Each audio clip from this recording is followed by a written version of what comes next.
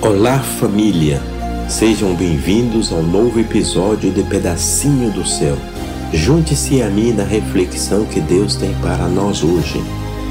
Na vida ocupada que levamos, muitas vezes esquecemos a palavra obrigado.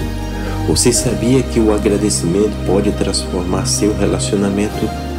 O agradecimento deve ser a regra do cristão, promovendo assim a saúde e alegria. Devido a que a gratidão produz alegria. Ser grato gera positividade, traz luz e alegria ao lar, reforça a união, melhora a comunicação sincera e assertiva. Esse ato de reconhecer e valorizar pode causar uma mudança radical na forma de como vivenciamos o matrimônio. Em 1 Tessalonicenses 5,18 diz: em tudo dai graças, porque esta é a vontade de Deus em Cristo Jesus para convosco. Querido amigo, devemos cultivar e expressar gratidão em toda a circunstância de nossas vidas, tanto nos momentos bons quanto nos momentos difíceis. Não importa qual seja nossa situação, devemos encontrar motivos para dar graças a Deus. Ser grato não custa nada nem te torna menos como pessoa. Hoje vamos começar a fazer a diferença. Comece a agradecer a sua esposa pela companhia dela, por ser seu complemento, pela atenção, amor.